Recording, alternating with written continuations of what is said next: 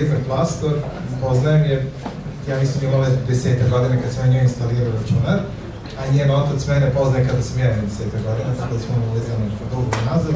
Radili smo web shop za njih i oni će vam ispričati tu priču kako je pomoć u internetu, napredila biznis, napredila prodaju, uključila se malo, obnovila krlu, dovela mladu snagu kod tata u firmi, tako da čujte.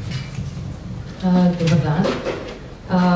Ja bih pre svega da se zahvalim Ljubiši na ukazanom poverenju i prilici, jer je stvarno velika čast da sa vama podelim našu digitalnu priču. A, naša priča počinje upravo sa Ljubišom i mojim tatom 2005. godine i tada se pojavio naš sajt www.plastorsrbija.com. Nisam pomenula, firma Plastor je, nalazi se u Jagodini, to je naša porodična firma, a, posluje od 1995. godine. A, bavimo se trgovinom, maloprodajom, veleprodajom, internet prodajom, a, izvozom, uvozom i brendiranjem a, plastičnih proizvoda. U svom asortimanu imamo preko 4000 različitih artikla za domaćinstvo a, i širimo naš asortiman. A, pošto nemamo mnogo vremena, za više informacije o Plastoru posetite naš sajt www.plastorsrbija.com. 2005. godine se pojavlja naš sajt i mi smo mislili da uveliko kasnimo, međutim ispostavilo se da je naš sajt prvi, sa ponudom plastičnih proizvoda zapravo prvi sajt takve vrste na našem tržištu i ta starost na internetu i broj klikova nam daje jako dobre pozicije na pretraživačima, a da mi ništa za to ne plaćamo. Sajt je bio namenjen pre svega veleprodaje i to je urodilo plodom. Sa pojavom brze pošte to je još više dobilo na značaju. Radimo sa raznim ustanovama, privatnim i državnim na cijeloj teritoriji Srbije. To su vrtići, škole, osnovne, srednje, univerziteti, muzeji, fakulteti i tako dalje. Zatim velike kompanije iz Srbije vrše svoju godišnju nabavku potrošnog materijala kod nas kao što je Air Srbija, Jafa Crvenka, Leoni Viring System i slično. Dobijali smo puno upita od fizičkih lica koji su želeli da vrše kupovinu kod nas preko interneta i mi krećemo da obraćamo pažnju na to. Tada kreće naše pojavljivanje na društvenim mrežama. Prvo smo se pojavili na Facebooku. Mi nismo neki najbolji primer originalnosti što se tiče slika i objava jer radimo dosta drugih poslova i ovo nam je e, svako vreme koje uspemo da ugrabimo, mi, mi, mi se pojavimo tu. A, na Jagodromu, na primer, prošlom dobili smo neke ideje. Na primer, Facebook koristimo da najavimo nove proizvode ili da najavimo neke akcije i sniženja. A, zatim pravimo nagradne igre. Uglavnom koristimo, pošto je naš program nešto najbolje u našem programu su te neke saksije, uvijek koristimo proleće da izbacimo tu nagradnu igru. Uh, zatim ovo je ideja sa prošlog jagodrma, da li treba saksije da imaju ruku ili ne. Uh, pišemo neki tekst koji se direktno ili indirektno tiče nekog našeg proizvoda ili grupe proizvoda i obavezno stavimo link koji vodi do našeg sajta ili do grupe tih proizvoda na našem sajtu jer je naša ideja da ljude sa Facebooka zapravo pošaljemo na naš sajt.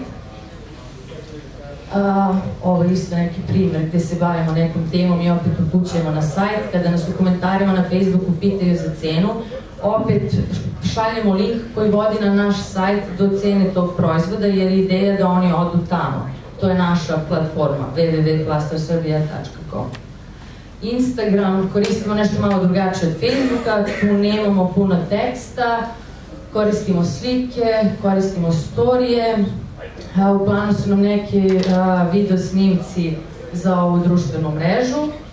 A, na Google My Businessu, biznisu smo neke tri godine.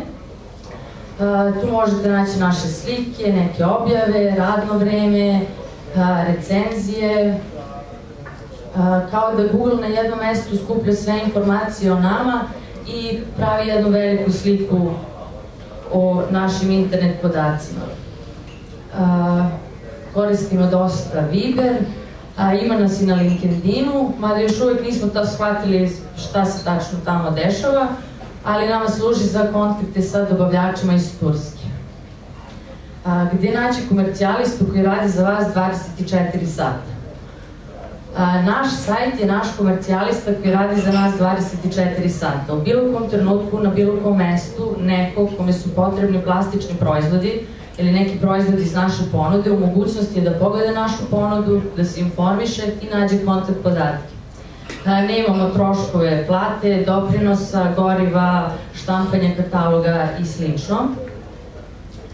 A, proširiti delatnost poslovanja često nam stižu razni upiti za neke proizvode i usluge koje mi nemamo u svojoj ponudi, a vezani su za našu delatnost. A, tako nam je jednog dana stigao upit od velike kompanije koja je tražila veliku količinu brendiranih kofa agro i trgovačkih kašika. A, mi prikupljamo informacije, dajemo ponudu. U trenutku kada smo dali ponudu, mi nismo imali ni tu zalihu robe, ni mašinu za brendiranje, niti smo ikad imali veze sa tim oni ponudu prihvataju. I mi u kratkom roku nalazimo, to je kupujemo robu, kupujemo mašinu za brendiranje, nalazimo majstora za štampanje. Ja se izvinjavam, malo trema. u svakom slučaju, mi u dogovorenom roku ispevamo uspešno da završimo posao, kažemo uspešno jer se kupac kasnije ponovo javio i mi svoju novu vrstu usluge izbacujemo na sajt. A, nakon toga kreće da se javljaju kompanije kojima baš trebaju ovakve vrste usluga. To su uglavnom kompanije koje se bave proizvodnjom uh, hrane za životinje i ribolovačke uh, opreme. Radili smo hranilici i pojelice za kompaniju 100%, radili smo brand Shell Remul, radili smo neke neko brendiranje za kompanije van Srbije, tako da smo imali svoj izvoz, a mi se pre toga nismo ni bavili time prosto dobro, stigo je ubit, pratili smo tržište i sada smo se već pozicionirali na internetu u vezi sa ovom vrstom usluge. Samo ostaje da se kvalitetno odradi posao i nakon toga vas kupci sami preporučuju. Neka dobavljači nađu vas. Kroz našu kancelariju svakog dana prođe minimum jedan komercijalista i a, morat ću ja.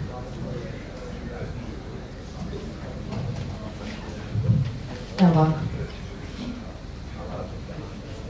Šta sad? Evo.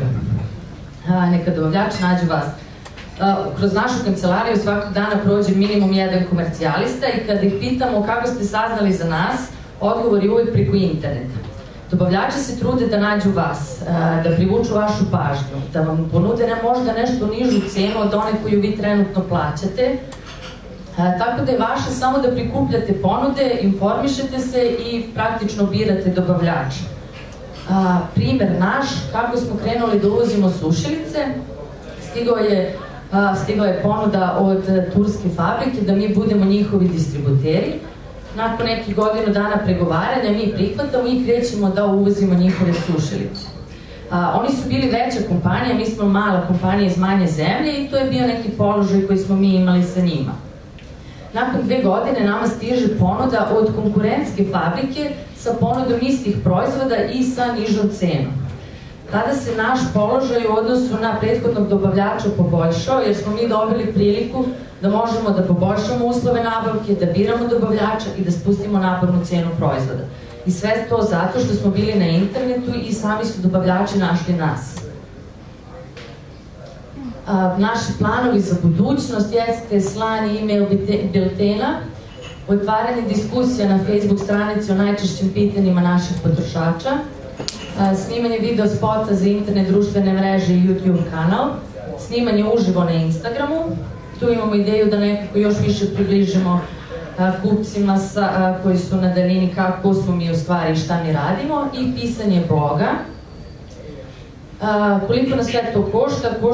Košta nas godišnje održavanje domena, neka minimalna ulaganja u sajt, sponsorisane reklame na, na Facebooku i Instagramu i trošak e, gratis poklona za nagradnu igru.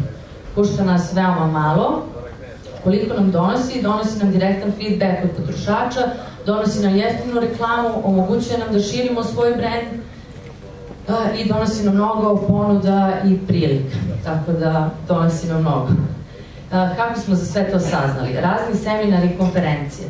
Takođe, ako ste na internetu, može da vas pronađe i privredna komora, a kontakt sa privrednom komorom za mala preduzeća je veoma bitan. Oni prave dosta dobrih seminara i konferencija.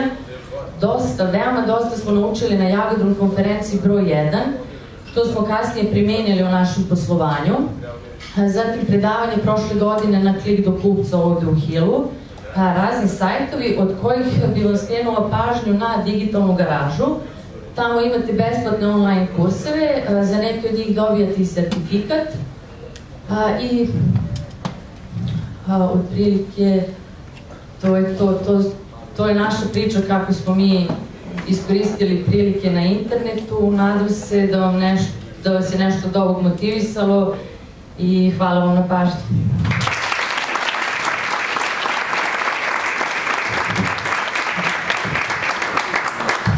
Da li imate pitanje možda za Ivana? Imam ja jedno, nema Na koji način a, rešavate problem m, sa kupcima koji kupuju kod vas, na primjer, relativno jeftin proizvod? Zamislimo da je proizvod od 300 dinara, poštarina čini možda i 50% još preko te cene. Kako reaguju kupci na to? A, dosta kupaca zna i upućena, naručuje proizvode 98 dinara i plati poštarinu 300 dinara, u redu. Zavisi koliko su kupci upućeni u kupovinu preko interneta. Postoje kupci koji žele da im stoji stolice stignu za 100 dinara već uh, uveče. Uh, prosto imamo svoje neka pravila, proračunali smo kako nama odgovara, što nije fiksno, nego kako nam se menja poslovanje i kako doživljavamo situacije sa kupcima, mi tako menjamo poslovnu politiku. Ali sve više ljudi kupuju preko interneta. Beograd je mnogo veliko tržište, znači oni naručuju sve i svašta, nije bitan iznos, prosto dosta ljudi već zna da li košta poštarina, nije problem platiću, ja to nigde ne mogu da nađem i to je to. Čak se desi da su naše cene toliko pristupačne da se ljudima više isplati da poruče od nas i plate poštarinu nego da kupe u mestu koje je njima blizu. Pretpostavljam da ima i taj razlog da e, postoje ljudi koji možda nisu ni mogućnosti fizički da odluže kupe, znači ljudi su... Ima, ima, javljaju nam se. Zatvoreni kući su... Ima hendikepiranih osoba, tada onda uglavnom znamo, imamo tako neke mušterije, onda nam ona kaže instrukcije, mi dalje instrukcije prevedemo brzoj pošti, da bi ona dobila paket na svoju adresu. A, ima dosta malih trgovinskih radnja koji su u nekim zabačenim mestima i vrlo teško do, dolaze do robe, a nemaju toki obrat da se nekom isplati da im tu robu odveze. Tako da smo mi idealni dobavljači za njih jer šaljemo brzom poštom, tako zapravo poštarina ne bude skupa jer plastika nije teška.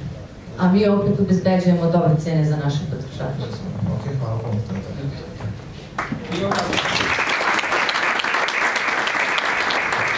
E, ja ovdje molim sledećeg predavača. E, izvinite, ima jedno pitanje. Još, evo, daćete mikrofon. Pomenuli ste da, da nastupate na LinkedInu s ovim brendom, pa ako možete da kažete više kako to tačno, kako sadržaj. Ovako, otvorili smo profil, stavili smo sliku i to je to. Čekamo da vidimo, prosto tu smo, pa pratit ćemo. Još nismo shvatili šta mi tu tačno možemo da radimo.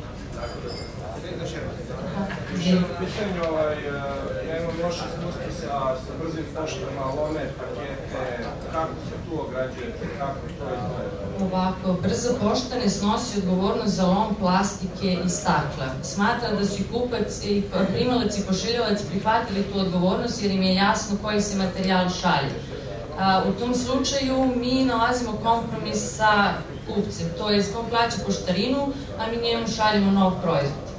Oštećeni smo i mi i kupac, jer prosto brza pošta je krivac, ali eto, mi dajemo ponovo proizvod, a kupac ponovo plaća poštarinu. I uglavnom ljudi, ljudima je to okej. Okay. Znači vi napred dogovorite sa kupcem da će oni snositi neku odgovornost? Nama, nama, mi imamo pet pošiljka slomljeni godišnje, iako šaljemo plastiku. A šaljemo preko 800 paketa u toku godine. Mislim, s vremenom kako su nam se lomili paketi, obraćali smo pažnju koju robu, kako da pakujemo, strečujemo, obeležavamo, tako da stvarno imamo minimalan lom. mi otprilike trudimo se da uradimo sve pre nego što paket stigne, jer uvek je bolje odraditi posao odmah nego da posle morate dodatno da, da, rad, da radite nešto što ste već odradili. Hvala.